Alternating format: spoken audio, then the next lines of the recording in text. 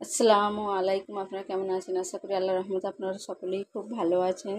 তো আজকে আমি আপনাদের সাথে শেয়ার করব পাকা আম ও দুধ দিয়ে খুবই সুন্দর একটি ম্যাঙ্গো পুটিংয়ের রেসিপি এখানে আমি দুটো পাকা আম নিয়েছি, তো আমটা একটু মিষ্টি আম নিতে হবে। তো আমটাকে আমি ভালো করে প্রথমে ধুয়ে নিয়েছিলাম। তো আমটাকে এখন আমি কেটে নেব।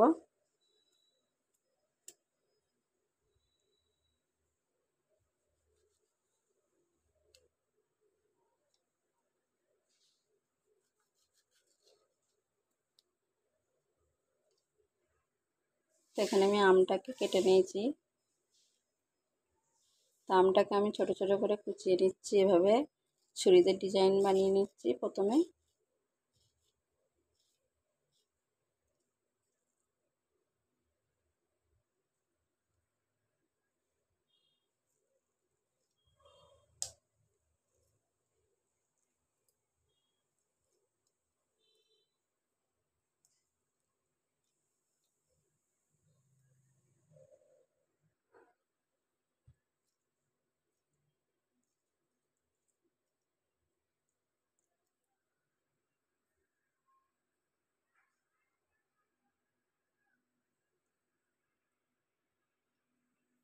তো এখানে আমি সব আমটাকে ভালো করে কুচিয়ে নিয়েছি।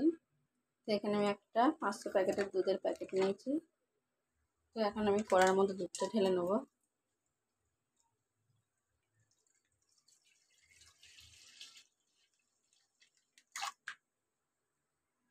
তো এখানে আমি পাঁচশো গ্রাম দুধ দিয়ে দিলাম কড়ার মধ্যে।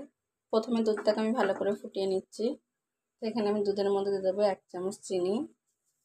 এখানে তিন চামচ, ছোটো চামচের তিন চামচের মতো চিনি আছে।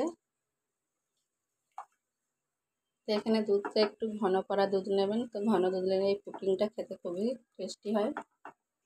তো এখানে আমি আগার আগার পাউডার দিয়ে এই পুটিংটা বানাবো। তো এখানে আমি আগার আগার পাউডার নিয়েছি।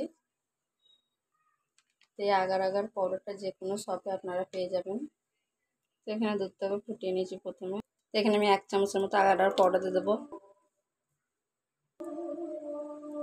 তো এখানে আমি এক চামচের মতো আগার আগার পাউডারটা দিয়ে দিয়েছি, দিয়ে ভালো করে নাড়াচাড়া করে নিয়েছি। তো আপনাদের কাছে আগার আগার পাউডার না থাকলে এখানে দু চামচ কর্নফ্লাওয়ার নিয়ে তো পানি দিয়ে গুলে নিয়ে দিয়ে দেবেন। এখানে আগার আগার পাউডারটা দেওয়ার পরে ভালো করে ফুটিয়ে নিয়েছি, এখন আমি গ্যাসটা বন্ধ করে দেবো।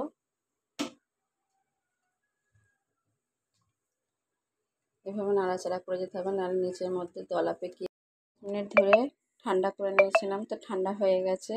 তো এখন আর বেশি ঠান্ডা করতে হবে না, আমি একটা বোলের মধ্যে ঢেলে নেব। তো এখানে আমি আমের মিশ্রণের মধ্যে ঢেলে নিচ্ছি দুধটাকে।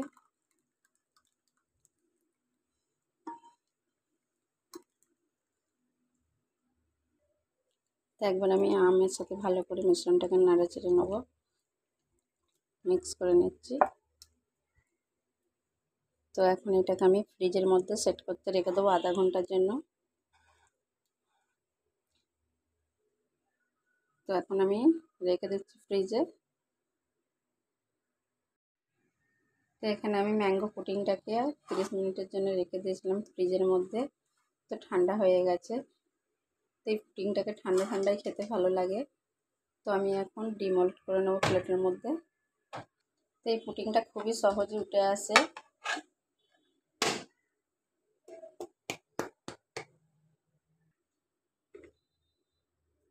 তো এখানে দেখুন ম্যাঙ্গো ফুটিকটা খুব সুন্দরভাবে সেটিং হয়ে গেছে।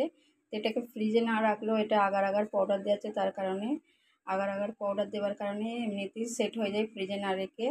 তো আপনারা এই এই পুটিংটাকে ফ্রিজে রেখে খেলে তো খুবই ভালো লাগে ঠান্ডা ঠান্ডা। তো আমি এখন পুটিংটাকে আপনাদের কেটে দেখাবো।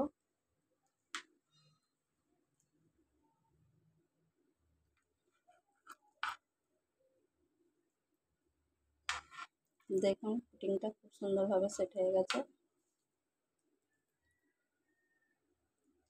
তো আমের কারণে, ম্যাঙ্গোটার কারণে দেখুন পুটিংটা খুবই সুন্দর লাগছে। তো এখানে পুটিংয়ের মধ্যে কিছু আমি ম্যাঙ্গোকে কুচিয়ে রেখেছিলাম, দিয়ে দিয়েছি।